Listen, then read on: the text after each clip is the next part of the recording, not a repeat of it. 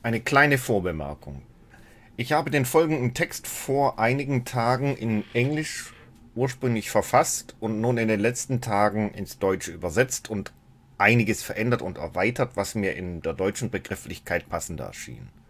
Das Grundproblem ist natürlich, wenn man einen längeren Text vorliest, hm, hat das für manche eine etwas ermüdende Wirkung. Dessen bin ich mir durchaus bewusst, dass es prinzipiell attraktiver ist, frei zu sprechen. Das Grundproblem bei dieser Angelegenheit ist, dass das Thema meines Erachtens extrem komplex ist und sich für eine freie Rede nur extrem schwer eignet.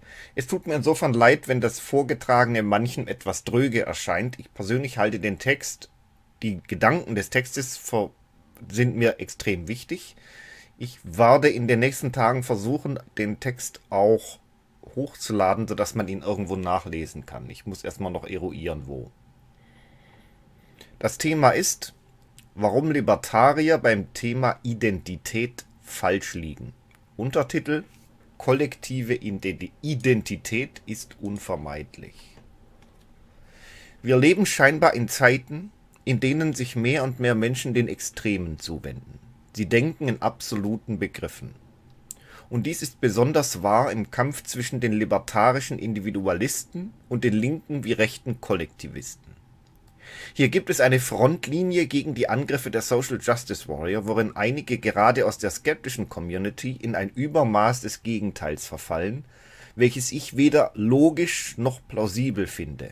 Das generelle Infragestellen kollektiver Identität als Soziologe mit klassischer Bildung bin ich immer noch etwas erstaunt, wie so viele Themen, die einst exklusiv in akademischen Kreisen debattiert wurden und ausführlich nur von Sozialwissenschaftlern eruiert wurden, nun weithin im Bereich der Laien besprochen werden. Nun muss ich teilweise für die Verwirrung die Soziologen selbst verantwortlich machen. Ich bin mir im Klaren, dass der Aufstieg sowohl des kulturellen Marxismus wie auch der Postmoderne hier eine verheerende Rolle auf die Debatte um Gesellschaft bewirkten und wir erleben nun eben den Fallout dieser Entwicklung. Es gibt seit mehr als 70 Jahren einen Streit in der Soziologie, damals entfacht zwischen der marxistischen Soziologie und der positivistischen oder scientistischen Soziologie. Während der 1960er Jahre entwickelte die sogenannte Frankfurter Schule, eine Gruppe marxistischer Soziologen, die kritische Schule, woraus sich der Kulturmarxismus bildete diese stritten mit den positivistischen Soziologen auf sehr hohem Niveau, wie Gesellschaft zu analysieren und zu beschreiben sei. Kleine Kammeranmerkung, die, die, die schrieben damals wirklich auf extrem hohem Niveau. Also selbst für mich als Soziologen es nachzulesen, äh, erfordert, erfordert wirklich die volle Konzentration. Positivismus Streit der Soziologie.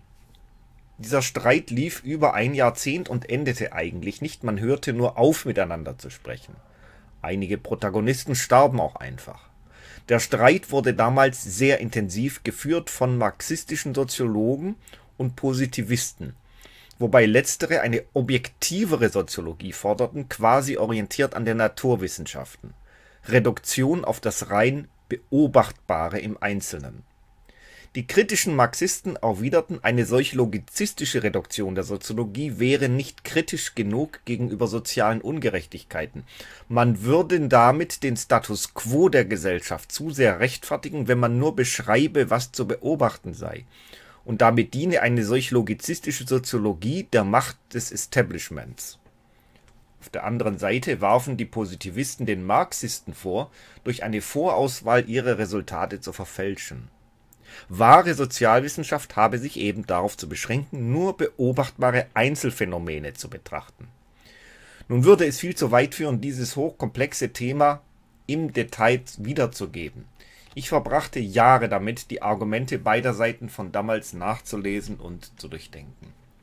Eines aber müssen wir verstehen, der Kampf zwischen Social Justice Warriors und Skeptikern oder libertarischen Individualisten ist nur die Fortsetzung eines jahrzehntealten Kampfes, der sich nun von der akademischen auf die politische Ebene verlagert hat. Er wird heute zumeist aber von Amateuren und Autodidakten geführt. Ich betone das nicht, um zu demonstrieren, wie clever ich als Soziologe bin, sondern weil eben in vielen Debatten leider auffällt, dass Autodidakten doch Hintergrundwissen fehlt, da sie oft nur sehr selektiv studieren, was eben ihren Interessen entspricht oder was ihre Vorstellungen bestätigt. So oft sehe ich, wie viele Probleme leichter zu klären wären, wenn wir die wissenschaftlich gesicherten Fakten einsetzen und die allgemeinen Schlussfolgerungen von Psychologie und Soziologie besser heranzögen. Leider hält sich heute jeder für einen Historiker und Soziologen, so wie sich jeder für einen Psychologen hält, nur weil er eben eine Psyche hat. Aus der Distanz betrachtet haben sowohl die kritischen Marxisten wie auch die Positivisten etwas für sich. Ähnlich wie Aristoteles sehe ich die Weisheit eher in der Mitte statt in den Extremen. Beide Seiten haben in etwas recht, aber sie überziehen ihre Idee ins Extrem und das betrifft auch heute die Social Justice Warrior und die Individualisten. Die kritischen Marxisten hatten mit ihrer Kritik nicht ganz Unrecht. Wenn sich die Sozialwissenschaft nur darauf bestrengt, das beobachtbare Verhalten der Einzelfälle zugrunde zu legen, dann handelt man, wie wenn man einen toten Frosch seziert, die Einzelteile betrachtet, dabei aber übersieht, dass eine Ganzheit mehr ist als die Summe seiner Teile. Es macht keinen Sinn, rein logizistisch das Verhalten oder das Gehirn von Individuen zu sezieren, da Gesellschaft, Gemeinschaft kollektive Identitäten eben Systeme sind. Sie sind keine Eigenschaften der Individuen selbst, die in dem System sind, sondern quasi das dazwischen. Die kollektive Identität entsteht und erhält sich in einem andauernden Prozess der Kommunikation. Die gemeinsame Identität ist das System, beziehungsweise wir sind alle Teil von Systemen. Darum ist es auch sinnlos, wie es libertarische Analytiker tun, Handlung Einzelner zu beobachten und dann zu postulieren, es gebe gar keine kollektive Identität, weil man sie im Einzelnen nicht beobachten konnte. Unsere kollektive Identität ist dabei nicht in uns, sondern in der Kommunikation. Durch die Regeln der Kommunikation des Systems wird die kollektive Identität aufrechterhalten, also im Bezug der Einzelnen zueinander, nicht im Individuum selbst. Man hätte zum Beispiel als Mann oder als Weißer oder als Heterosexueller überhaupt keinen Begriff von seiner Identität, wenn man auf der Welt völlig alleine wäre. Ohne den anderen, mit dem man sich vergleicht oder von dem man sich abgrenzt, gibt es gar keinen Begriff des eigenen. Daran sieht man, dass Individuen aus sich selbst gar keine sozialen Eigenschaften besitzen, die Identität hergeben. Eine individuelle Identität im Sinne einer Selbsterschaffung gibt es gar nicht. Identität entwickelt sich immer als Prozess eines Systems, dessen Teil wir sind. Und jedes System hat dann eine In-Group und eine Out-Group. Der In-Group gleichen wir uns an durch Imitation von der Outgroup grenzen wir uns ab. Diese Outgroup, die soziale Umwelt, ist wichtig, weil wir Identität überhaupt nur bilden, indem wir etwas in Relation mit etwas anderem setzen. Das ist in der Forschung über Identität hinreichend wissenschaftlich belegt. Es ist eine laienhafte, aber falsche Vorstellung anzunehmen, wir hätten eine von Relationen zu anderen enthobene eigene Identität, die nicht ein Prozess ist, die nicht eingebunden in Systeme ist. Der Mensch ohne Mitmenschen wäre der Mensch ohne Eigenschaften. Welche eigenen Gesetze und Dynamiken Systeme haben, sieht man etwa in Phänomenen wie Massenhysterien. Menschen in Gruppen entwickeln eine ganz eigene Dynamik, die man nicht erfasst, wenn man Menschen auf das Individuum reduziert. Und daher sind etliche Theorien in der individualistischen, libertarischen Ecke über Gesellschaft schlicht und ergreifend falsch. Sie basieren auf einem falschen Menschenbild, sie ignorieren, wie Gesellschaft funktioniert und was das Naturell des Menschen ist. Die moralische Oberhand. Die Macht der Social Justice Warrior kann nicht hinreichend erklärt werden, wenn wir nicht wenigstens einen Teil ihrer ursprünglichen Ideen als berechtigt ansehen. Wenn wir nicht akzeptieren, dass zumindest ein Teil ihrer Ideen die Natur des Menschen positiv anspricht. Das erklärt auch, wie hilflos die Skeptiker und Libertarier letztlich gegenüber den Linken und Social Justice Warrior immer wieder sind. Sie können sie zwar gut verspotten, zeigen auch ihre Schwächen aus, aber es folgt eben nichts. Die Skeptiker bleiben so in der Kritiker- und Spötterecke, weil sie Identität und Kollektiv als Chimärenbegriff ansehen. In Wahrheit waren die Social Justice Warrior einmal echte Liberalisierungsbewegung und sie hatten damals historisch gute Gründe für ihre Bewegung auch wenn man sie heute nicht mehr als liberal bezeichnen kann, sondern als progressiv autoritär. Feminismus, Bürgerrechtsbewegung für Schwarze oder Schwule, all diese hatten damals gute Gründe, gegen die Benachteiligung zu protestieren und einen gesellschaftlichen Wandel von mehr freie Selbstbestimmung zu demonstrieren. Und diese historische Erinnerung ist das Kapital, mit dem sie bis heute wuchern. Wir kämpfen für den kleinen Mann, wir kämpfen für die Unterdrückten und sind daher per Definition immer die Guten. Was sie nicht verstehen ist, dass sie heute selbst große Macht angesammelt haben, dass sie selbst die Inhaber des Establishments geworden sind. Sie sind in den westlichen Gesellschaften, in Medien, Politik, Kultur und vielen Firmen tonangebend, während die Konservativen und Libertarier heute marginalisiert sind. Mancher Linke mag dies aus schlichter Naivität nicht sehen, andere ignorieren diese Änderung der Machtstrukturen mit Absicht, um den eigenen Opferstatus zu zementieren. Die gegensätzlichen Linien lassen sich vereinfacht so beschreiben. Die Social Justice Warrior oder Progressiven sagen, kollektive Identität ist alles. Ihre individualistischen Gegner sagen, kollektive Identität ist nichts. Eine Seite sieht die Dinge komplett durch die Brille der kollektiven Identitäten, die andere leugnet die Existenz dieser Kollektive als bloße Fantasie, als etwas Irreales. Beides sind gleichermaßen falsche Perspektiven auf die menschliche Natur. Menschen sind weder total isolierte Atome, frei aller kollektiven Identität, noch sind sie bloße Insekten oder Ameisen eines Superstaats. Wir müssen dieses Denken in absoluten Ja-Nein-Schemata durchbrechen wenn wir einen sinnvollen Fortschritt erzielen wollen. Bildung von Identität. Identität bildet sich in einem fortlaufenden Prozess, der wie ein Computerprogramm immer weitergeht. Es ist kein Ding, kein Artefakt, das feststeht, auch wenn es anhaltende gleichbleibende Merkmale gibt. Das macht seine Definition extrem schwer und einer sezierenden Analyse seiner Teile kaum zugänglich. Wer daher also fragt, aus welchen einzelnen Elementen bestehe denn eine deutsche oder eine schwedische Leitkultur, der beweist nur, dass er die Frage gar nicht verstanden hat, nämlich wie sich Gemeinschaft und Identität überhaupt bilden. Sie sind eben kein toter Frosch auf dem Tablett. Sie sind ein lebender Organismus, ein andauernder Prozess, der als Ganzes nicht nur mehr ist als seine Teile, sondern ein Eigenleben hat, Charakteristika, die nicht nur mit Strichlisten von Ja, Nein abzuhaken sind. Wäre dem so, wäre Gesellschaftswissenschaft nicht so kompliziert. Die Frage, was Gesellschaft ist, gehört mit zu den schwersten Fragen überhaupt, da der Mensch das komplexeste Phänomen des ganzen Kosmos ist. Dagegen sind schwarze Löcher oder Quantenmathematik leicht. Identität bildet sich immer im Wechsel zwischen dem Impuls der eigenen Innenwelt und ihrem Kontakt mit der Umwelt.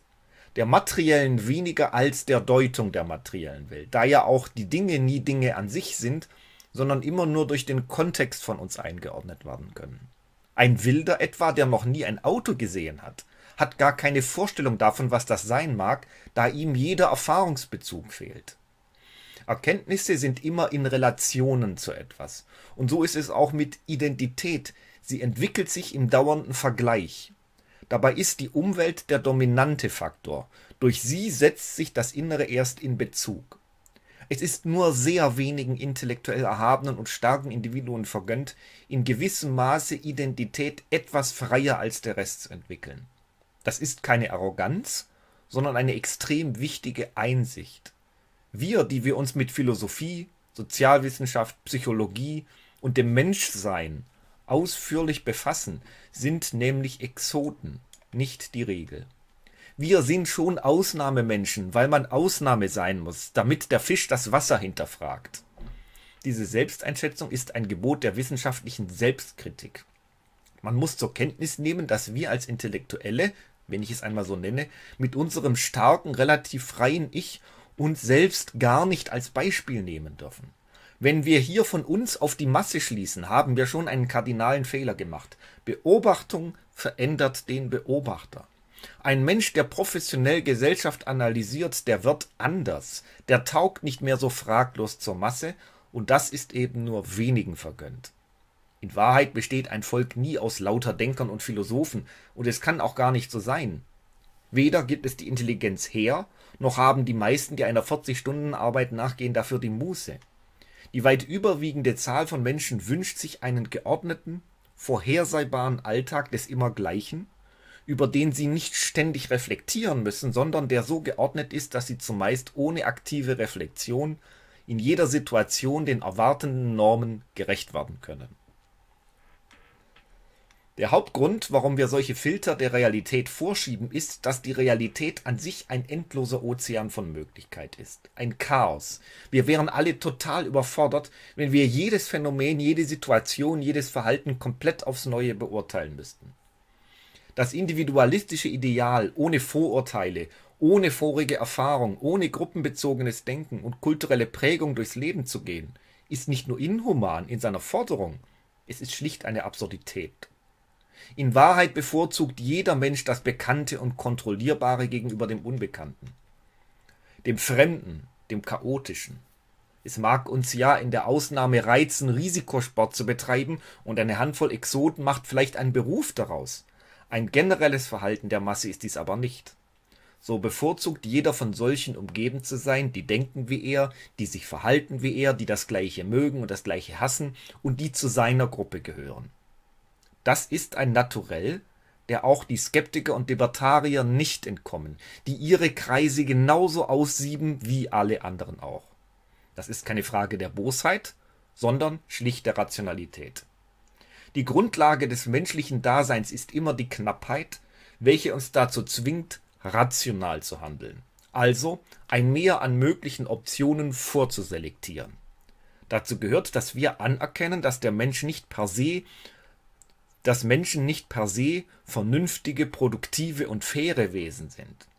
Die Psychologie wie die Geschichte liefern uns Beispiele ohne Zahl, die die dunklen, destruktiven Abgründe der menschlichen Natur belegen. Der Mensch ist eben kein Vernunftwesen. Er ist nur zur Vernunft begabt. Ein Wesenskern ist vernünftiges Verhalten aber nicht. Die Vernunft ist sogar nur eine sehr dünne zivilisierte Schicht über einem Abgrund von Trieben und nicht einmal im Wesentlichen egoistisch oder produktiv. Wir haben Lust an Dominanz, an der Zerstörung. Wir wollen uns messen, den anderen ausnutzen, um unserer Rotte Horde zu beweisen, dass wir etwas taugen. Menschen rauben und vergewaltigen oft aus Gründen des Prestiges, nicht des objektiven Nutzens. Und dies richtet sich ebenso an unsere kollektive Identität. Sie ist immer da, spielt in alles hinein, was wir tun. Wenn tausend Migranten auf der Kölner Domplatte deutsche Frauen vergewaltigen, dann nicht aus Triebstau, sondern weil sie einander und den Deutschen etwas demonstrieren. Den eigenen signalisieren sie, schaut, wir haben das Potenzial, Alpha-Männer in der Horde zu sein. Und die Deutschen bekommen gezeigt, hier, ihr könnt eure Frauen nicht schützen, ihr seid Sklaven. Das ist überhaupt nur durch die Brille sozial-kollektiven Denkens erklärbar. Beharrt man hingegen auf seiner Froschperspektive des Individualismus, dann sind es eben nur lauter unerklärliche Verrückte und Einzeltäter. Es hat hier politisch von liberalistischer Seite auch gar keinen Sinn, immer in den Raum zu werfen, dass die Leute die böse Identität abwerfen sollten. Darauf hören in der Regel nur die eigenen, also die Seite, deren gemeinsame Identität ohnehin schon stark beschädigt ist, während die aggressiven Kulturen, die nach Europa hereinströmen, sich von libertär-individualistischen Utopien ebenso wenig in Zweifel stürzen lassen wie radikale Social Justice Warrior Feministen oder Kulturmarxisten. Und das ist der Punkt, wo ich es doch auch für gefährliches Geräte halte. Das Letzte, was die westliche Kultur braucht, ist noch mehr Relativismus, noch mehr Selbstzurücknahme, noch mehr zweifelnde Grübelei, die allein denen weiter Vorschub leistet, die am liebsten unsere westliche Welt in Schutt und Asche sehen würden. Nach solch einem Zusammenbruch wahlweise im Femisozialismus oder Islamismus hätten die Individualisten dann auch keine Gelegenheit mehr für hochfliegende, verkopfte Utopien. Die negativen Effekte sozialer Identitäten werden nicht gelöst in dem Versuch, Identität zu vernichten, sondern indem man sie umgestaltet. Tatsache ist, dass Menschen als Individuum extrem schwache und verletzliche Wesen sind. Wir sind eben weder Bären noch Löwen. Und hier sehen es sowohl Sozialisten wie auch Libertarier gleich falsch.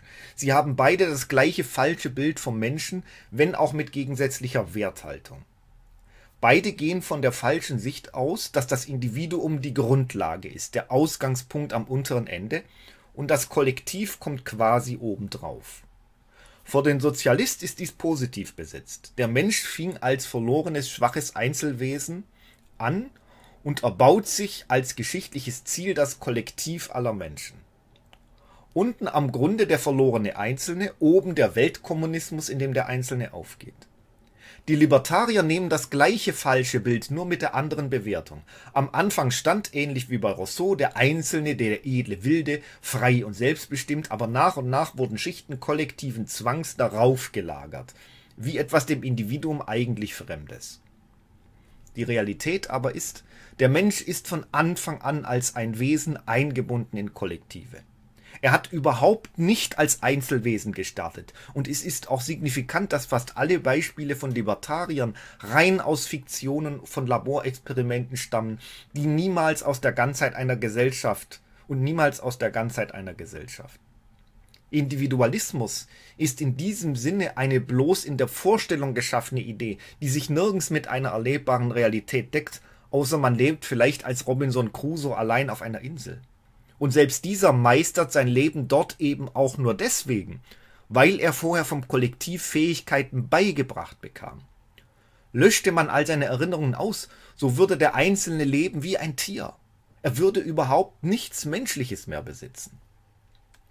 Das Kollektiv ist die Grundlage, die Herkunft, das zuerst Dagewesene. Das Kollektiv ist quasi der Grund unterhalb aller Dinge. Zerfällt die Zivilisation, der Staat, die moderne Ordnung, dann fallen wir nicht in die Individualität. Wir fallen auf den Grund eines extrem autoritären Tribalismus.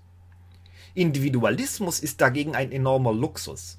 Es ist der geistige, moralische und materielle Klimmzug, den wir überhaupt erst dann leisten können, wenn alle anderen kollektiven Systeme rundlaufen. Wenn es keine großen Engpässe der Versorgung gibt, wenn es eine Bürokratie, eine staatliche Ordnung gibt, die das Gros der Vorgänge automatisch regelt, wenn die Technik weit genug fortgeschritten ist, um uns Freizeit und Spezialisierung zu ermöglichen. Der Individualismus ist eine Höchstleistung menschlicher Kultur, der größtmögliche Klimmzug einer Zivilisation. Sie ist das Ideal, möglichst viel an Freiheit und Eigenheit zu erlauben. Und ich bin libertarisch in dem Sinne, da ich Freiheit und Individualismus als die höchsten Ziele ansehe.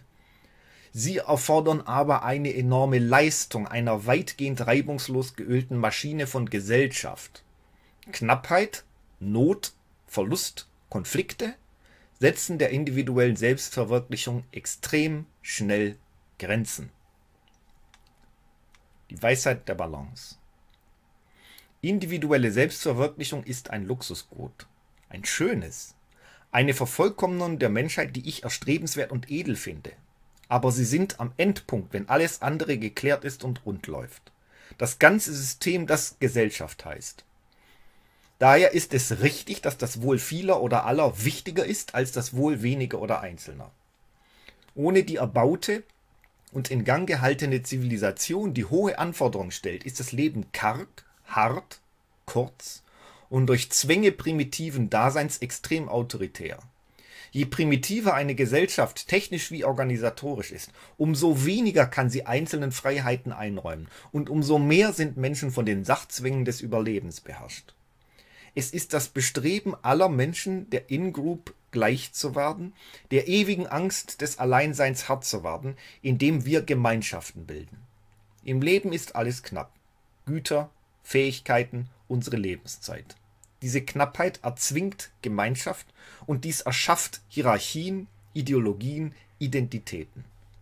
Selbst in den kleinsten Gemeinschaften sind schon solche sozialen Mechanismen angelegt, die die moderne Zivilisation ausmachen. Zivilisation ist eben nicht, wie Rousseau annahm, etwas dem Menschen Fremdes, quasi als Komplott übergestülpt.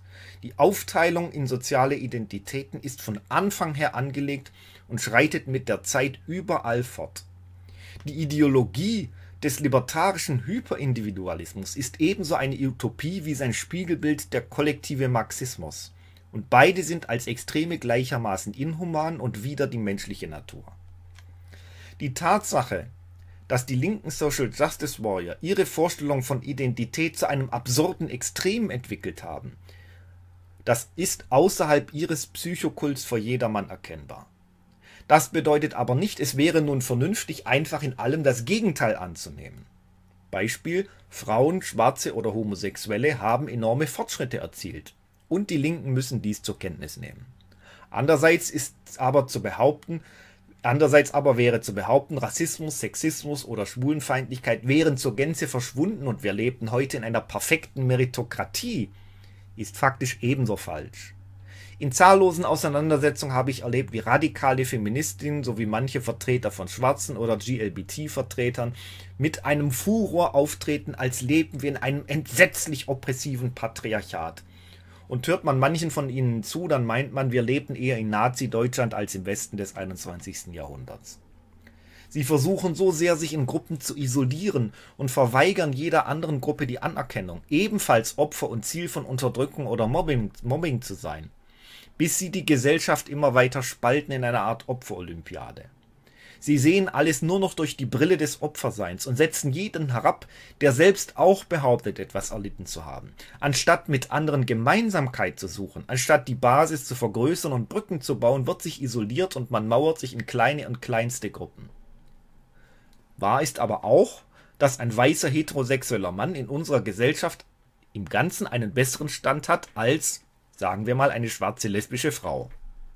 Auch wenn alle Menschen potenziell Opfer werden und man sich darin verbünden sollte, sind nicht alle Gruppen gleichermaßen Opfer. Lasst mich das mit einem persönlichen Beispiel untermauern. Ich lebe als schwuler Mann in einer heteronormativen Welt und bin rein arithmetisch immer marginalisiert. So ist die normative Erwartung an mich, dass ich hetero sei, und jede Klarstellung meiner tatsächlichen Sexualität ist ein Bruch des normativ Erwarteten.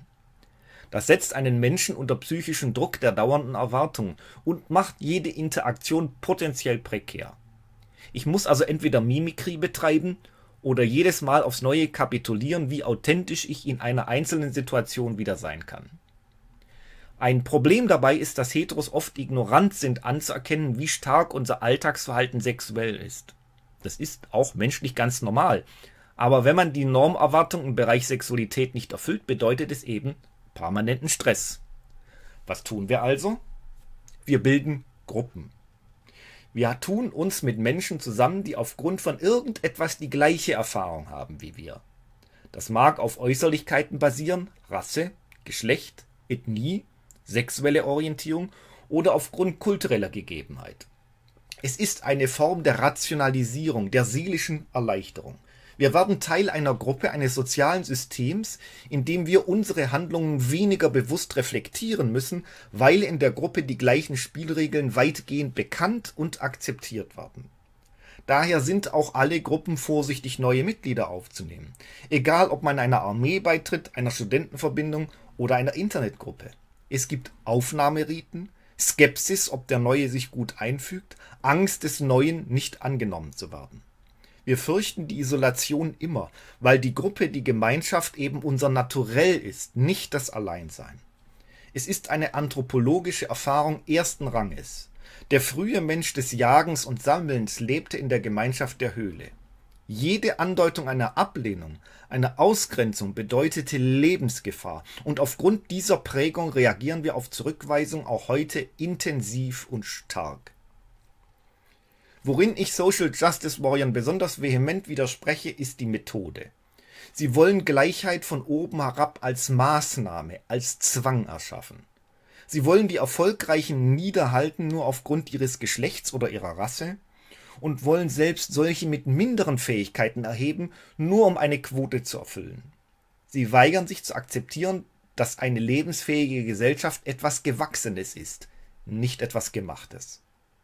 Damit aber legen sie die Axt ans Gemeinwesen und sie betreiben nur spiegelverkehrten Rassismus.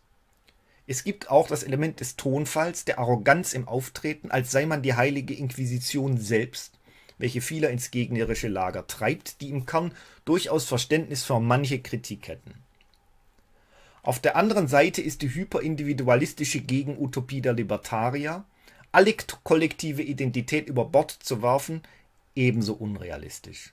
Diese totale Vernunft gegen alle menschlichen Instinkte ist ebenso sehr ein Gesinnungsterror wie der Sozialismus, der der totalen Verdinglichung des Menschen, seiner Sinnentleerung durch die Aushöhlung von Tradition und allen gewachsenen Strukturen, sind beide die beide Sozialismus und Libertarismus herausreißen wollen, bis nur ein atomisierter Mensch bar allen Seelenlebens, aller gewachsenen Gemeinschaft übrig bliebe.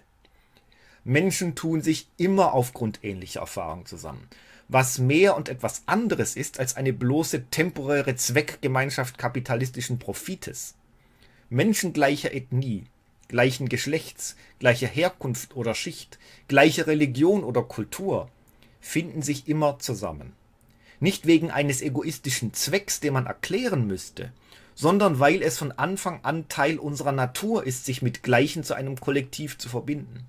Nicht wir müssen begründen, warum es Leitkultur gibt, denn dieses Dasein ist das Natürliche. Die anderen, welche es zerbrechen wollen, sind uns schuldig, Gründe dafür anzugeben, warum sie das Selbstverständliche niederreißen wollen.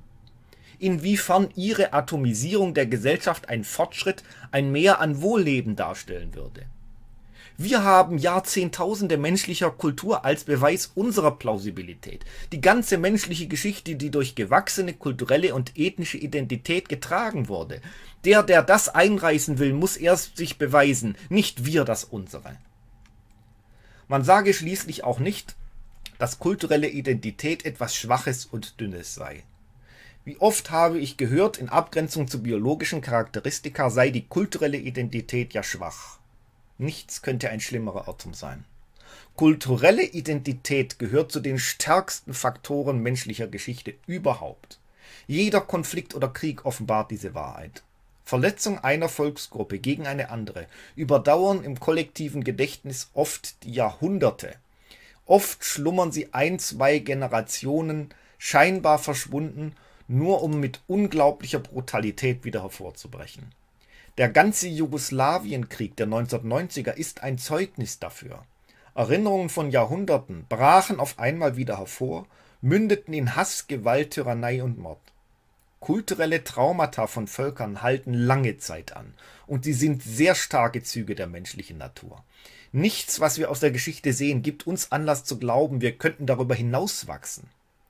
Es mag verborgen liegen, wenn die Fleischtöpfe voll sind und eine Hochkultur ein angenehmes Leben sichert. Dann träumen manche von der Utopie des liberalistischen Individualismus, in der jeder eine Monade der Selbstverwirklichung des fairen Handels sei, allein geleitet durch edle Rationalität und berechenbare Nützlichkeit, wie es eine Enrand tat.